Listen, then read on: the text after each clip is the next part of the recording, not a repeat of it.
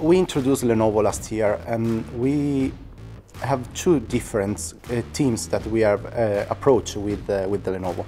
One is on tracks directly to collect the data with the best performance and reliability with the new notebook that was introduced by, by Lenovo. Another one was in uh, headquarters because we start to use Lenovo for um, create a new HPC cluster to simulate a lot of CFD aerodynamics part before to introduce on motorbikes on the race.